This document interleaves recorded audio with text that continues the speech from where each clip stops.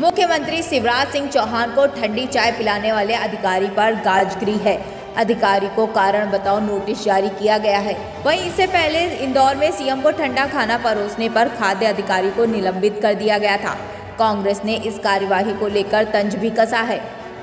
आपको बता दें कि सवाल पूछा है कि मामा जी चाय वाले से इतनी नफरत क्यों? नफरत किससे?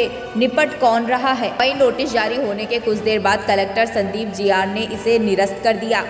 आपको बता दें कि मामला छतरपुर का है, जहाँ सीएम शिवराज सिंह चौहान रीवा जाते समय सोमवार को कुछ देर के लिए खुजराहो एयरपोर्ट पर रुके थे। उनके साथ सांसद और भाजपा प्रदेश अध्यक्ष वी डी शर्मा भी मौजूद थे। एयरपोर्ट पर सीएम और प्रदेश अध्यक्ष को जो चाय परोसी गई, वह ठंडी थी।